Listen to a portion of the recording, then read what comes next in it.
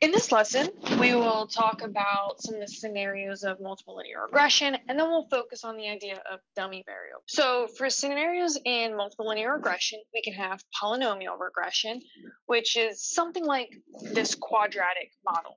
Um, sometimes people don't think this is a linear model because they see this square right here.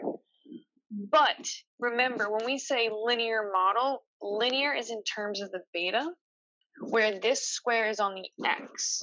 Okay.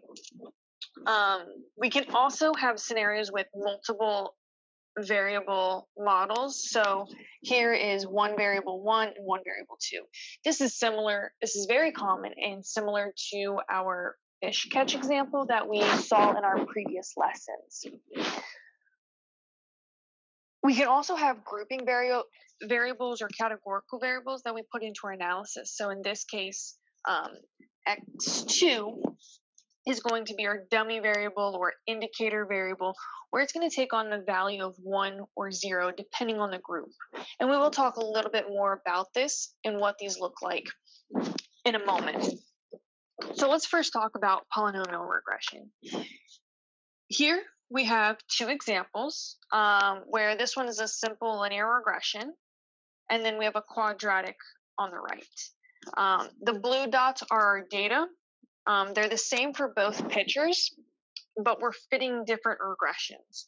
Uh, note that again, the quadratic polynomial regression is still considered linear, um, and the curvature is coming from the fact that we are squaring our x's.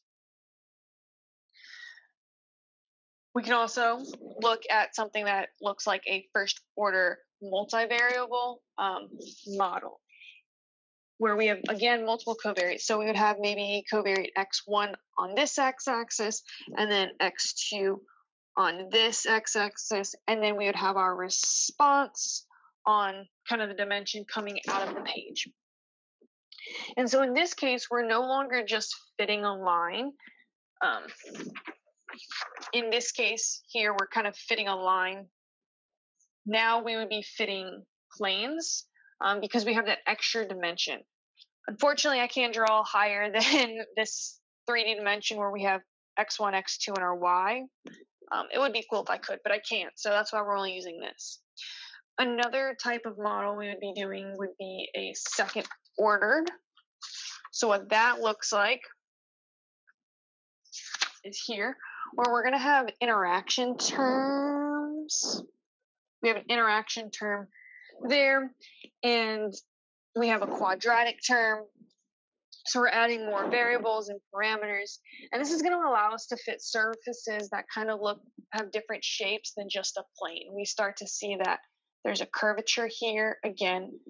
In this case, this is uh, a non-additive, in X1 and X2, that is, the model is going to contain an interaction term. The point of this lesson is to kind of look at different scenarios or the types of data we might encounter when we're doing research with multiple linear regressions, where again, linear is in terms of the parameter and not our x's. Um, so the next case I kind of want to like look over is regression with a grouping variable um, where we're going to first talk about if the groups have different slopes.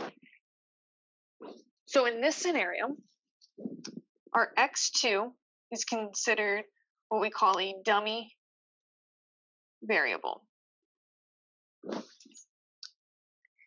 And this is going to tell us if this ith observation is in group 1 or group 2 or to fit with our picture group zero, group one.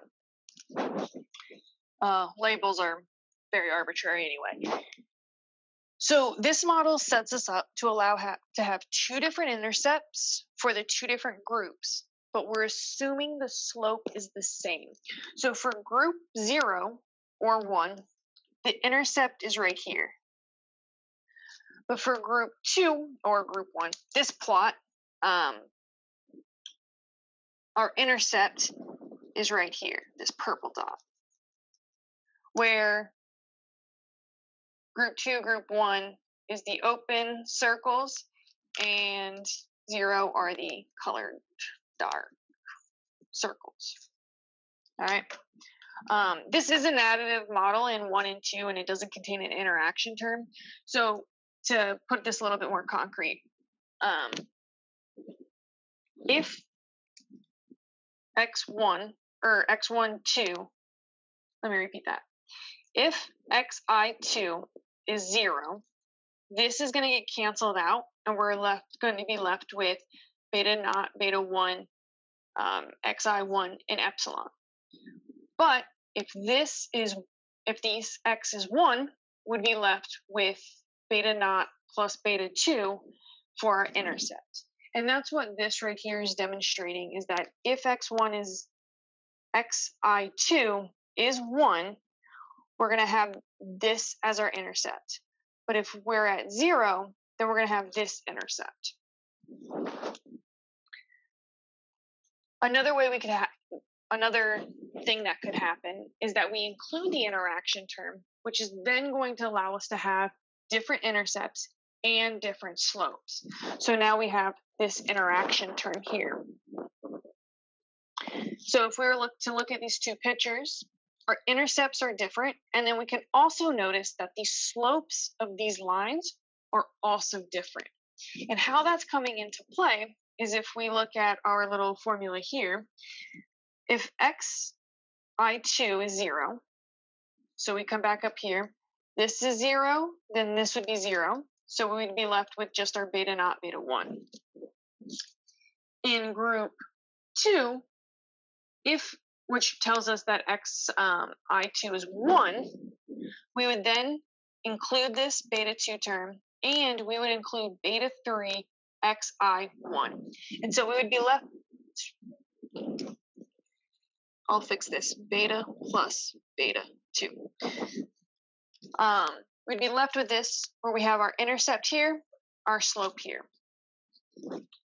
So, quick summary of the dummy variables and grouping variables. A grouping variable with two levels can be represented by one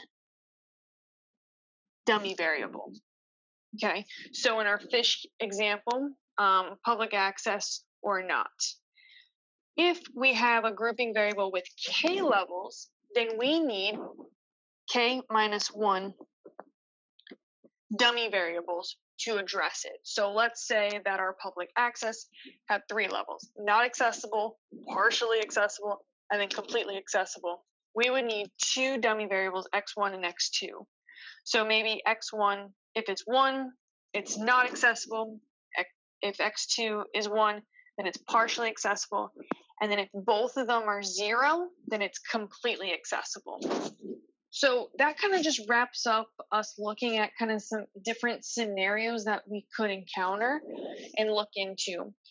If you are interested or your research does contain a lot of dummy variables, um, in this class we won't talk too much about them, but I would recommend looking into another class. I believe it'd be Stat uh, 5214G that goes more into grouping variables.